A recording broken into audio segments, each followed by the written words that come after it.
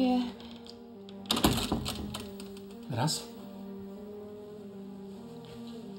Graça, o que houve? Está pálida? Ah, Guilherme, eu me senti mal o dia todo.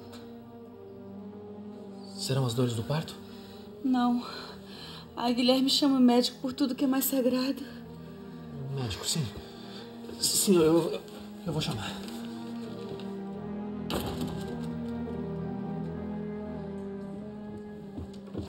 Doutor Paulo, aonde vai?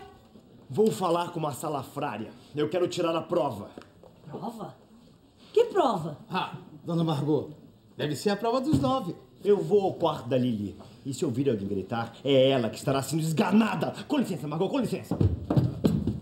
Quer dizer que o paspalho do médico vai casar mesmo com você, hein? Claro. Eu não quero ficar pra tia e virar uma baleia gorda que nem você.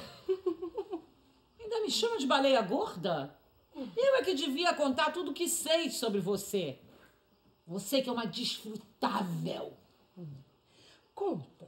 Que eu conto pra todo mundo que você está apaixonada pelo Reginaldo. Eu não estou apaixonada por ele. Ah, não.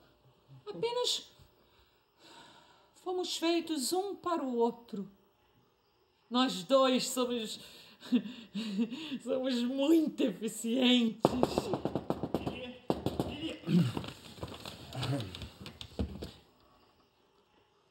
Quero que experimente este sapato. Virou Cinderela, Lili? É um sapatinho de cristal? Ora, doutor, esse sapato não cabe no meu pé. Vai ficar muito apertado. Não cabe, doutor. Ponha já! Ou enfio esse sapato à força! Vai! Vai!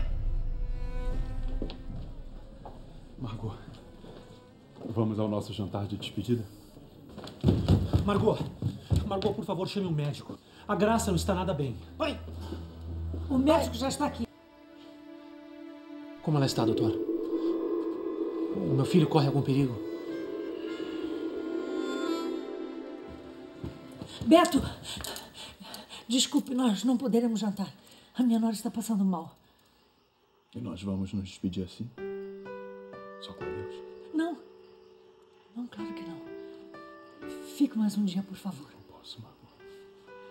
Como eu gostaria, mas eu não posso. Eu preciso procurar emprego, eu não tenho tantas economias assim. Amanhã eu tenho uma coisa importante para lhe dizer. Espere, por favor.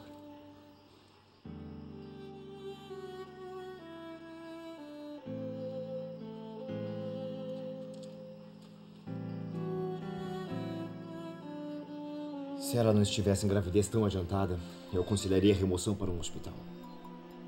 A pressão está alta. Bem, doutor, nesse caso, nós podemos dar um jeito. Vamos para outra cidade. Mas, Guilherme, e o processo? Você tem que vencer.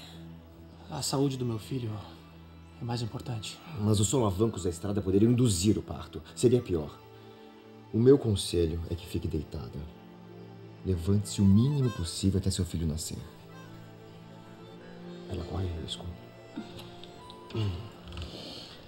Mas, mas quem vai cuidar de mim? Eu. Eu cuidarei de você, Graça. Você, tem tanto motivo para me odiar. Te odiar.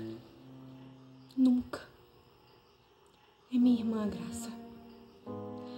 E é o seu filho e o, e o do Guilherme que vai nascer.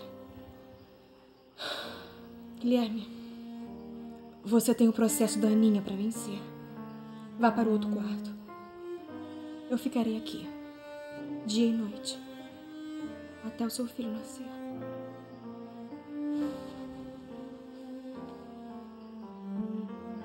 Obrigado.